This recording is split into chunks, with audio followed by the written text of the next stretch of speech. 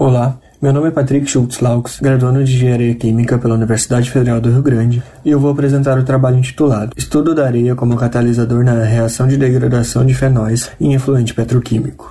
O mesmo foi realizado no Laboratório de Controle Ambiental e Processos Biotecnológicos, e os outros autores desse trabalho são Joyce Vieira, Michele Kohlenberg, Tayana Denardi de Souza, e a orientadora do mesmo foi a professora doutora Cristiane Saraiva Grodov. Então, o método de tratamento biológico constitui um dos processos mais econômicos de tratamento secundário de efluente hídrico. Apesar de bactérias adaptadas apresentarem capacidade de biodegradação de compostos fenólicos, estes têm efeito inibitório sobre o crescimento celular quando em elevada concentração, acarretando em uma diminuição drástica da biomassa. Neste contexto, surgem os processos oxidativos avançados, que consistem em oxidar grande variedade de compostos orgânicos complexos.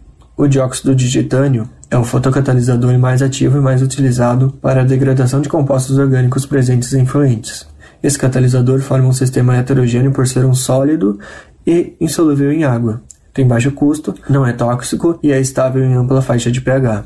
O mesmo se encontra em três formas alotrópicas: anatase, rotilo e broquite, sendo a primeira a mais fotoativa e por isso a mais utilizada como catalisador. Em certas regiões, o dióxido de titânio pode ser encontrado em abundância na areia, e conforme um relatório de impacto ambiental, o município de São José do Norte, no Rio Grande do Sul, apresenta esse potencial.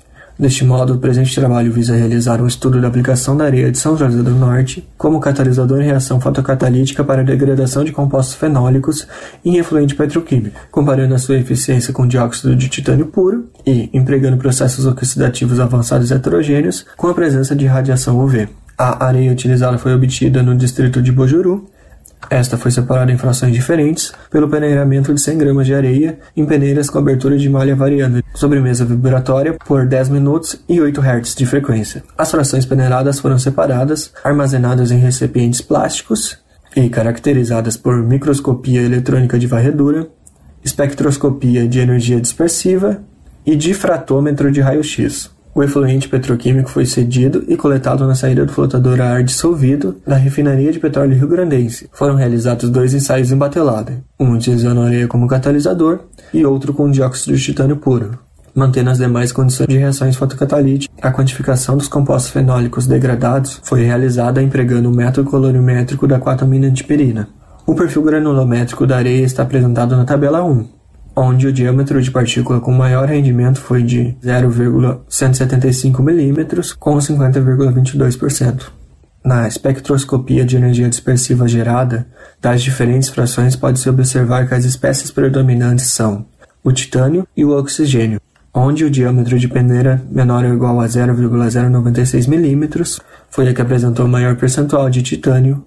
As espécies predominantes nessa fração são o titânio com 24%, e o oxigênio com 37%. O difratômetro de raio-x avaliou a estrutura cristalina da areia. Observou-se a presença de estruturas em posições características de óxidos de titânio, importantes para a eficiência do processo fotocatalítico. Pela angulação da análise do difratômetro de raio-x, podemos sugerir que dentre as diferentes formas que o dióxido de titânio se apresenta, possivelmente esta é a anatase. A partir das análises realizadas, a fração escolhida para dar continuidade ao estudo foi o tamanho de partículas menor ou igual a 0,096 mm, pois foi essa que apresentou o maior percentual de titânio com picos característicos na forma anatase.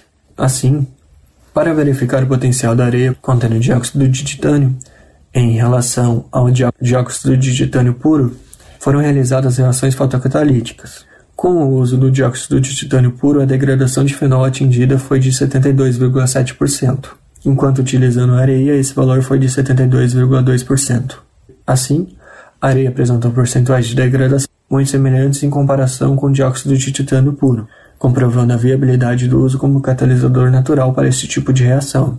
Concluindo então, a areia utilizada é uma fonte de dióxido de titânio, podendo ser utilizada como catalisador natural de forma sustentável e, além disso, se mostrou adequada para a reação de fotodegradação pois é eficiente na degradação de compostos tóxicos, como o fenol presente em efluente petroquímico.